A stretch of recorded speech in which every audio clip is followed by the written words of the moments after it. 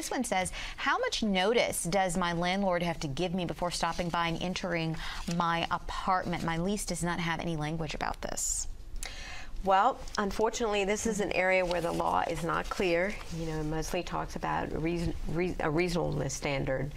Um, so, if you had a lease, read it. This viewer said they looked at the lease mm-hmm. and it mm-hmm. doesn't have there, it doesn't have it in there. But unfortunately, there's no bright line rule: 24 hours, 48 hours, 72 hours, that sort of thing.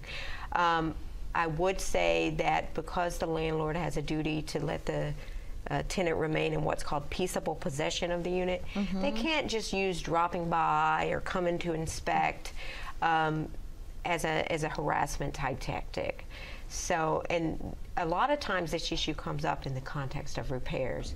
You've, we were talking about that right. earlier. You ask for a repair.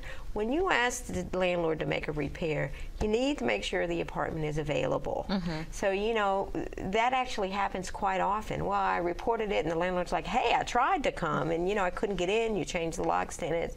You weren't supposed to do that. Or, you know, I came there and you wouldn't let me in.